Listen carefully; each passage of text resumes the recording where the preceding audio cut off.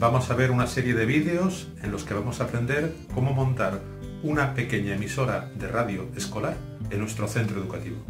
El objetivo es conseguir montar el estudio con muy pocos medios.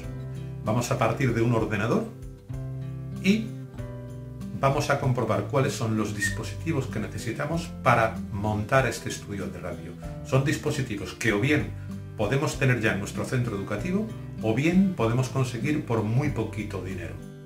En este primer vídeo vamos a ver cuáles son estos dispositivos.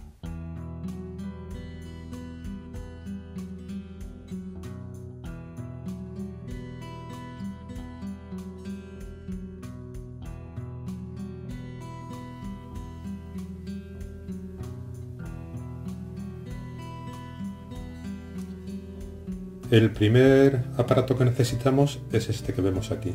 Esto es un distribuidor de USB.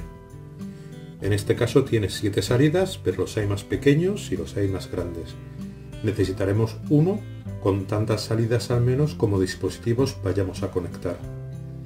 Vemos que tiene un cable de corriente. Los más pequeñitos no lo tienen, pero este sí tiene cable de corriente.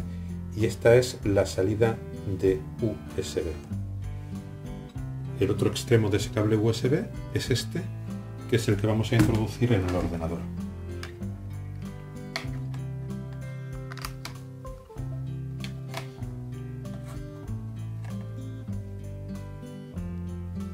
Para eh, conectar a este, a este distribuidor, distribuidor de USB vamos a utilizar dos aparatitos. Estos son unas tarjetas de sonido externas vemos que tienen la entrada USB, que vamos a poner aquí, y vemos que aquí tienen dos salidas. La de color anaranjado o rosa es para la entrada de micrófono, eh, la verde o azul según los aparatos es eh, para la salida de auriculares o de altavoces. Nosotros vamos a utilizar una que vamos a poner aquí y esta otra que vamos a poner por ejemplo aquí.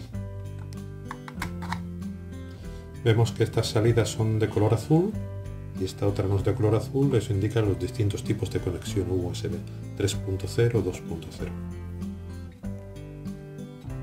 Esto es un micrófono absolutamente normal, un micrófono con una clavija mini jack y son aparatos que se pueden comprar desde 3 euros y pico hasta 5, 7, 9, 15 dependiendo un poquito de la calidad, pero es un aparato absolutamente estandarizado.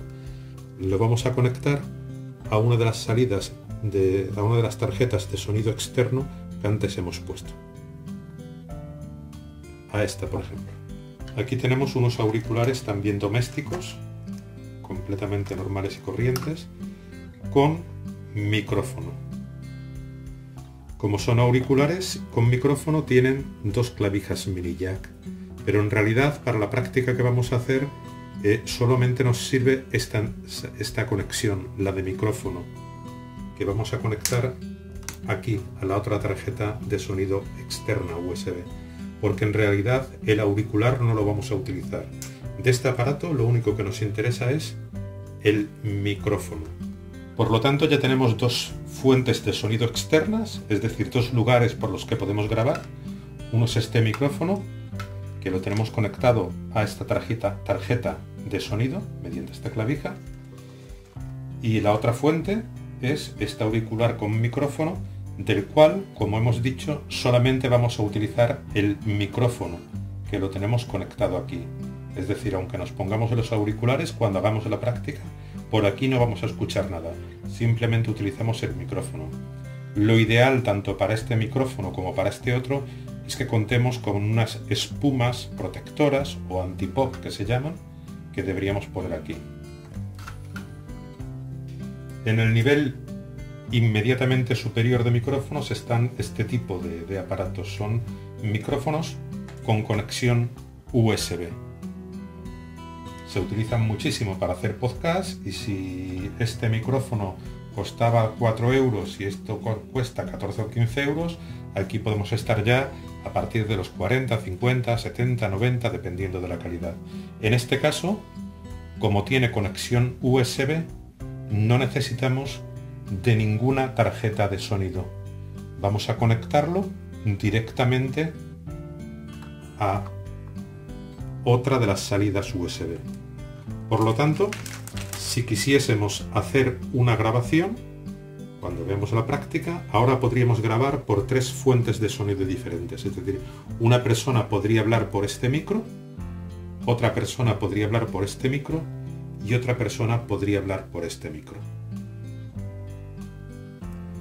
Por último, eh, necesitamos escuchar lo que estamos grabando, pero ya hemos comentado que con este modelo que vamos a utilizar, con esta práctica, no vamos a poder escuchar nada por los auriculares. Por lo tanto, necesitamos unos altavoces externos, por pequeños que sean. Estos son los más básicos, estos se regalan casi. Los altavoces externos se pueden conectar de dos modos diferentes dependiendo del tipo. O bien mediante una clavija USB o bien mediante una clavija mini jack. Yo en este caso voy a utilizar la clavija mini jack y lo voy a conectar directamente a la salida que tiene el ordenador. Por lo tanto, tenemos ya todos los dispositivos conectados. Primero, el distribuidor USB. Hemos conectado dos tarjetas de sonido externas. Solamente dos porque utilizamos dos micrófonos externos con clavija mini jack.